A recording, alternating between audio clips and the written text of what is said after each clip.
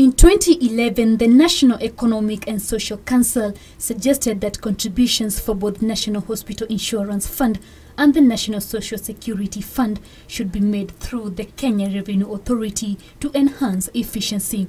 Though there were objections from both NHIF and NSSF citing irregularities in collections, there seems to be light at the end of the tunnel as the three bodies, NHIF, NSSF and KRA are now ready to synchronize their collection systems. You also see cases where today an employer submit 100 people for pay as you earn tax return and they only send 50 people for contribution to NSSF. So there are also some loopholes that needs to be closed. But really the intention here is to drive efficiency much more than dealing with other issues of compliance. This would perhaps be a relief to employees as well as employers who are subjected to a long process of remitting their tax and deductions to different state agencies.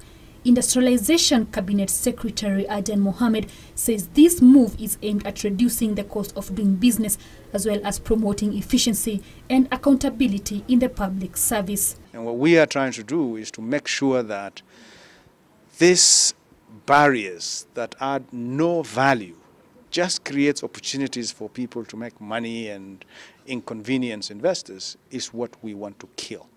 If we leverage on the databases that are available between the three sister organizations, we will be able to update member records uh, almost instantaneously and therefore ensure that contributions are credited to the member or the beneficiary accounts uh, seamlessly as the taxes are updated.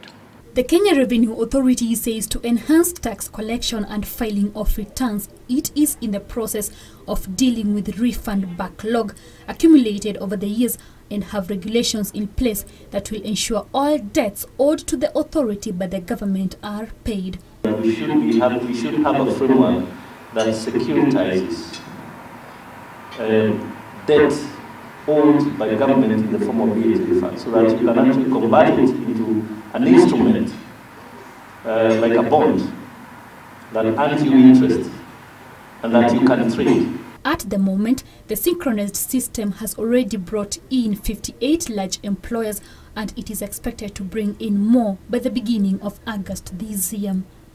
Ruth Mutegi, Business Defined.